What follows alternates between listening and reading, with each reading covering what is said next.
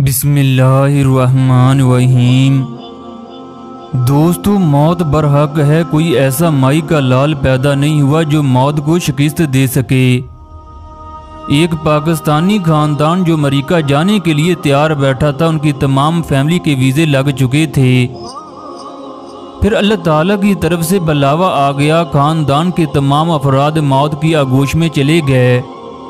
नबी अकरम सल्लल्लाहु ने फरमाया, कब्र इंसान को सत्तर बार याद करती है, लेकिन अफसोस हमने मकाम आखरत को बला रखा है।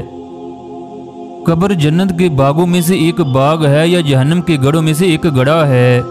हाफिज इमरान अपने खानदान के पहले हाफिज थे, उनके वालदा का इंतकाल उन्नीस सौ चौरानवे में हो गया।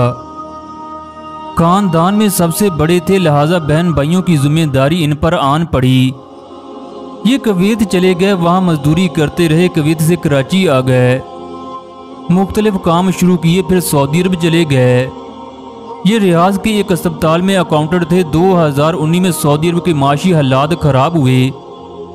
तो ये खानदान समेत अमेरिका शिफ्ट होने की तैयारी करने लगे। ये सऊदी अरब से अमेरिका भी जा सकते थे, लेकिन ये पाकिस्तान आ गए और पूरा साल अमेरिकी वीज़े की कोशिश करते रहे। सदर ट्रंप की वजह से अमेरिका की पॉलिसियाँ तब्दील हुई, पाकिस्तान के लिए वीज़े मुश्किल हो गए लिहाजा हाफिज साहब का मामला साल भर लटका रहा, तम फरवरी में इन्हें अमेरिका का वीज़ा मिल गया। ये जॉब वीज़ा था, ये इस पर अपनी फैमिली को भी ले जा सकते थे। खानदान ने तैयारियाँ शुरू कर दी, इसी दौरान कोरोना आ गया। फ्लाइट्स और बॉर्डर बंद हो गए, यूँ हाफिज साहब कराची में फंस गए। मई के शुरू में इन्हें तलाक मिली। सदर ट्रंप 22 मई से जॉब वीज़ों पर पाबंदी लगा रहे हैं। लिहाजा इन लोगों ने 22 मई से पहले पहले जाने का फैसला कर लिया। हाफिज साहब 19 साल से तरावी पढ़ा रहे थे। ये कवीत और सऊदी अरब में नमाज़ तरावी की अमामत करते थे। लिहाजा ये 15 दिन तक ये खदमात सर अंजाम देते रहे। 19 मई को ये कतर एयरवेज की फ़्लाइट से दोहा रवाना हो गए इनका वीज़ा कराची एयरपोर्ट पर क्लियर हुआ। लेकिन जब ये दोहा पहुँचे तो इन्हें एयरपोर्ट पर रोक लिया गया। अमेरिका कोरोना की वजह से सिर्फ़ अपने शहरियों को अमेरिका में दाखिले की इजाज़त दे रहा था। चनाचा कतर एयरवेज ने इन्हें ऑफलोड कर दिया।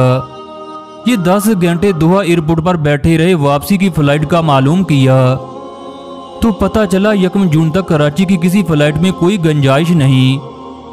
कतर का वीज़ा न होने की वजह से एयरपोर्ट से बाहर नहीं जा सकते थे। एक क्लर्क ने बताया, एक कार्गो फ़्लाइट लाहौर जा रही है। कार्गो फ़्लाइट मुसाफरों को लेकर नहीं जाती। मगर मैं आपके लिए कोशिश करता हूँ। हाफिज साहब ने हाँ कर दी। क्लर्क ने कोशिश की, आप किस्मत देखें कार्गो फ़्लाइट इन्हें पाकिस्तान ले जाने पर राज़ी हो गई। चन्नाचा हाफिज साहब लाहौर पहुँचे। पाकिस्तान के मुसाफरों को चौदह दिन करतीना में रखा जाता था। इनकी रिपोर्ट आ गई, ये नेगेटिव निकले। इनको घर जाने की इजाज़त दे दी गई।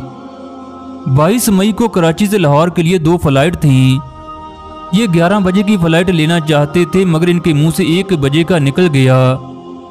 चन्नाचा ये एक बजे से फ़्लाइट में बैठ गया। ये फ़्लाइट एक किलोमीटर की दूरी पर गिरकर तबाह हो गई। दोस्तों, देख लो मौत किस तरह इनके खानदान का पीछा करती रही। मौत से कोई भी इंसान नहीं बच सकता। हमें मौत की तैयारी करनी चाहिए।